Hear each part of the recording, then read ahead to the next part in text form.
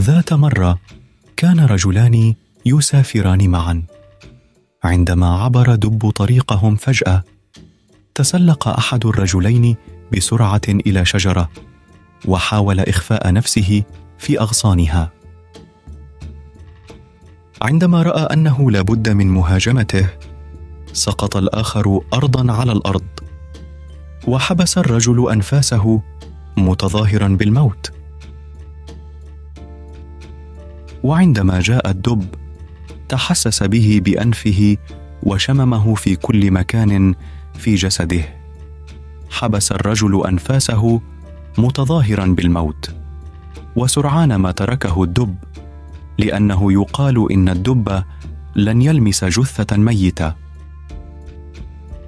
عندما ذهب الدب الرجل نزل من الشجرة لينضم إلى رفيقه وسأل رفيقه ما الذي همس به الدب في أذنك عندما انحنى عليك لفترة طويلة؟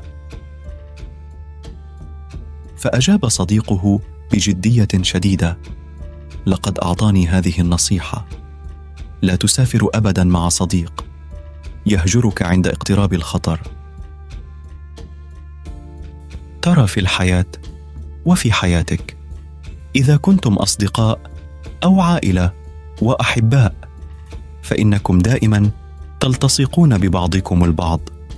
ولا تهجر ابدا شخصا في خطر وهو صديقك لمجرد أنك خائف من أجل حياتك.